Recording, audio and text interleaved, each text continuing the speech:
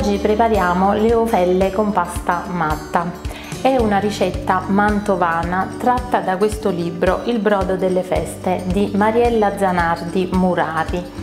E mentre impastiamo insieme vi racconterò come sono venuta in possesso di questi due libri. È una storia molto bella, storia di donne. Per preparare la pasta matta, che è una sorta di pasta frolla più o meno, abbiamo bisogno di farina, burro, uova, zucchero, un mm, estratto di vaniglia, un po' di buccia di limone grattugiata ed il lievito. Per facilità impasto a mano così ho pure modo di parlare, però voi potrete utilizzare la planetaria o addirittura il mixer, i bimbi, quello che avete a casa. In una ciotola versiamo il burro e lo zucchero ed impastiamo a mano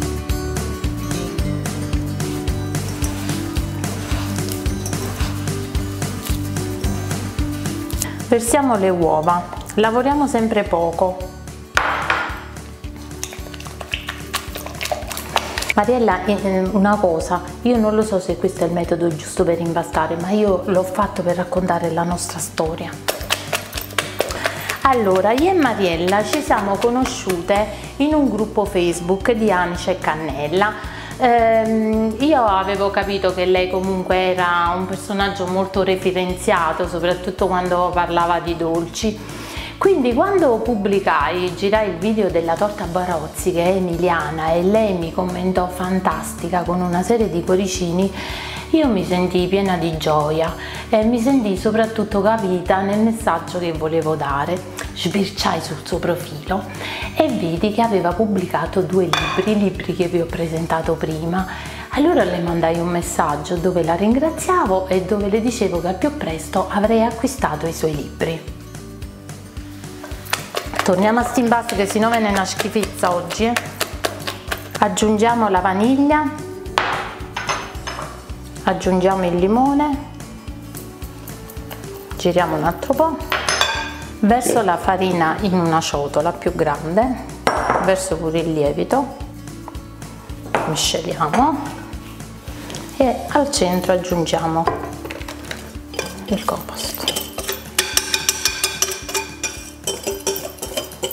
Mariella rispose al mio messaggio mm, con molto affetto, mi ringraziò lei, disse che aveva tanta stima, figuriamoci, e, e, aggiunse che i suoi libri non si trovavano più perché erano finite, nonostante finiti, nonostante fosse alla sesta edizione. Mi chiese l'indirizzo, se mi faceva piacere me li, me li avrebbe regalati lei. E questo fatto, insomma, voi sapete che io piango sempre, mi commosse perché non è che tutti i giorni uno incontra una persona così. E queste cose, devo dire la verità, mi succedono più spesso da quando ho deciso di aprirmi di raccontare, di parlare, perché io il, il, messaggio che voglio dare non è semplicemente la ricetta, il messaggio è di dire facciamo le cose, stiamo insieme, proviamoci sempre e, stiamo, e aiutiamoci l'un l'altra, questo è il, è il messaggio.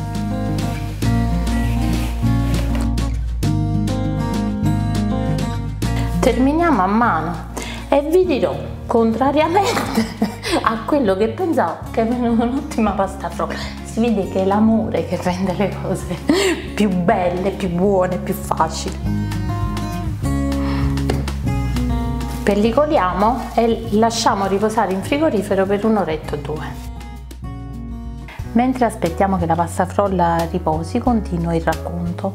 Non vi ho detto una delle cose più importanti, e cioè che papà di Mariella, e la ricetta che stiamo facendo, era un famoso pasticcere di Mantova. La pasticceria Ducale, nata nel 1921, dove il papà che si chiamava Carlo eh, divenne eh, piccolo di bottega a soli 12 anni. A 20 rilevò la pasticceria e la gestì fino al 1991.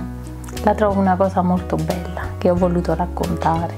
In questo libro mm, c'è una parte dedicata al papà e tutti noi possiamo pensare al nostro mentre lei parla di lui. Forse il personaggio per me più faticoso da raccontare. Di lui voglio dire sempre troppe cose e mi sembra sempre di non dirne abbastanza. Papà è una di quelle persone che vorresti avere sempre vicino e che non puoi fare a meno di amare.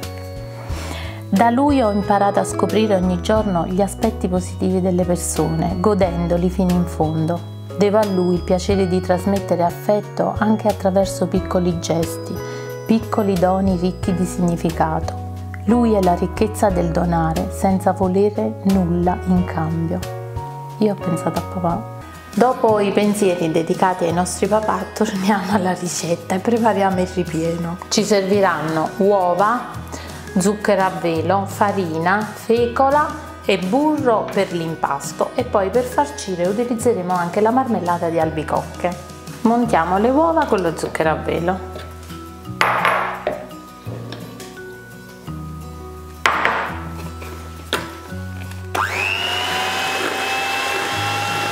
Aggiungo il burro.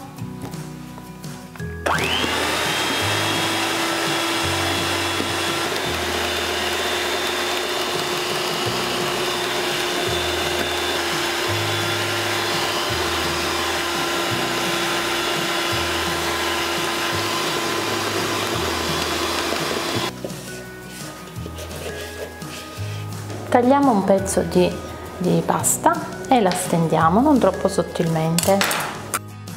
Prendiamo un cerchietto, un dischetto dentellato, ma va bene anche non dentellato. Stendiamo un velo di marmellata anche lungo i bordi. Al centro un cucchiaino di crema.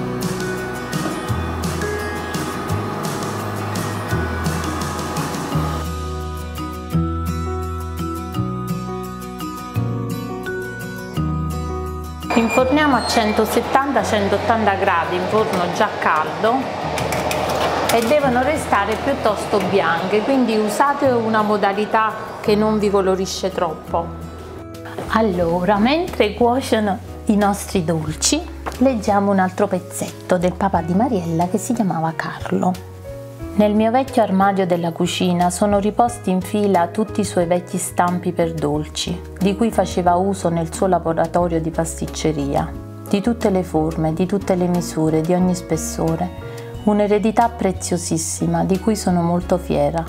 Porto con me ricordi dolcissimi di quando, ancora piccola, papà mi permetteva di entrare nel suo mondo e con tanta pazienza mi insegnava a sistemare delicatamente le mandorle sui piccoli biscottini petit four o a sbriciolare con le mie piccole manine il giallo pan di Spagna per rivestire la famosa pappa di Mantova. Papà ha l'orgoglio di avere servito dolci a generazioni di famiglie mantovane che ancora oggi lo ricordano con affetto e grande stima allora il dolce aveva un suo preciso significato di festa, di incontri particolari e gioiosi, di convivialità. Fanno un bel profumo.